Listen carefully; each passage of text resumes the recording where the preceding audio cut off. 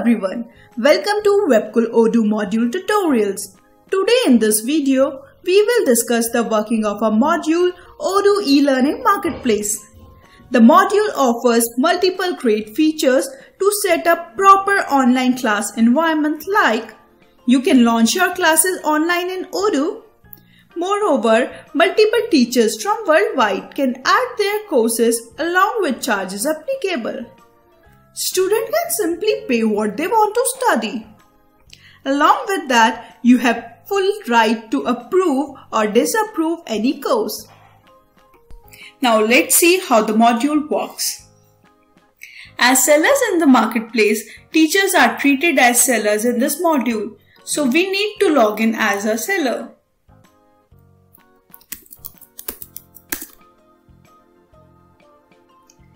Before creating a course, you need to create a product.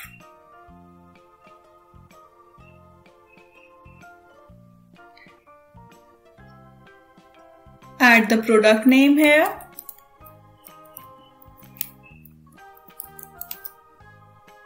Select the website product category. Select the product type. Make sure that product type should be service type we are creating this product so that we can use the price of this product to the course price. So set the price as you want to add the price to the course. Now click on the save button to save the changes. Now you need to click on the request to approve button so that a request is sent to the admin end.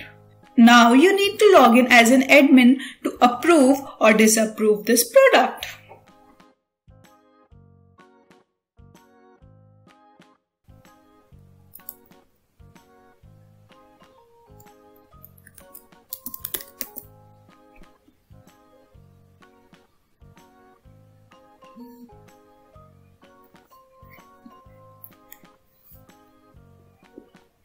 Now you need to go to seller dashboard and here click on the products and go to the non-approved products.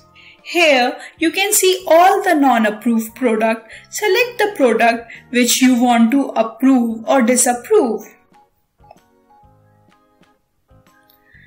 Click on the approve button if you want to approve the product or reject button if you want to reject it. Once you have approved the product, you can see the change in the state. Moreover, an option is also available now to publish the product on the website. If you reject the product, then you can see the change in the state and then that option is also removed from here. Now to create a course, you need to log in as a seller. However, you can also create a course as an admin also as admin has all the rights to create or approve any data.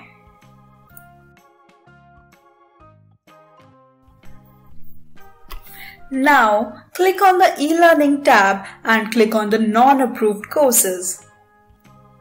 From here, you can create a course or you can edit the existing one.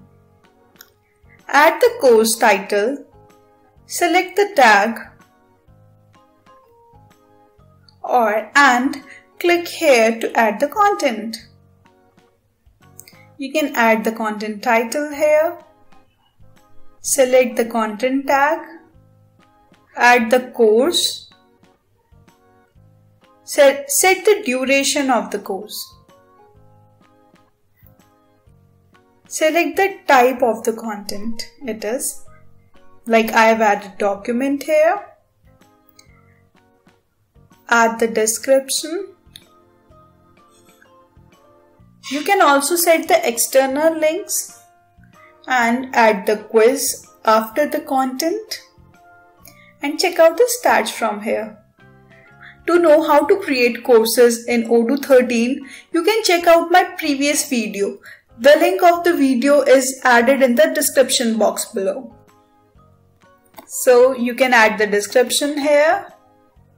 Set the option here. This is one of the most important part of creating this product. So set the course type whether it is documentation or training and now select the product for the course. This product is selected to set the price of the course. So I have selected the one we have created previously and save the changes. From here, click on the request to approve so that admin can approve or disapprove the product.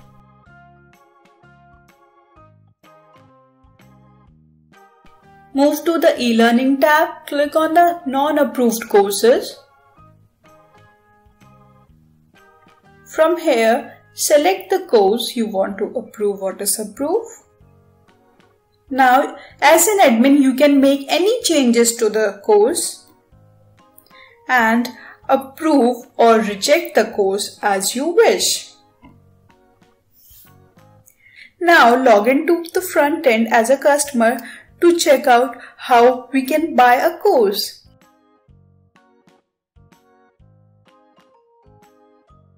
Once logged in as a customer, move to the courses tab here. From here, you can check out all the courses available.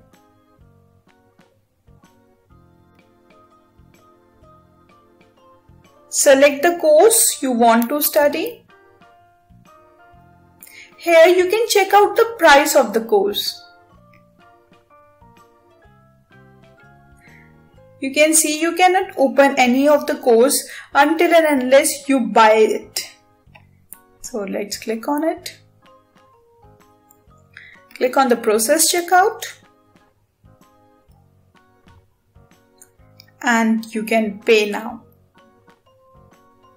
You can check that sale order for the course is created successfully.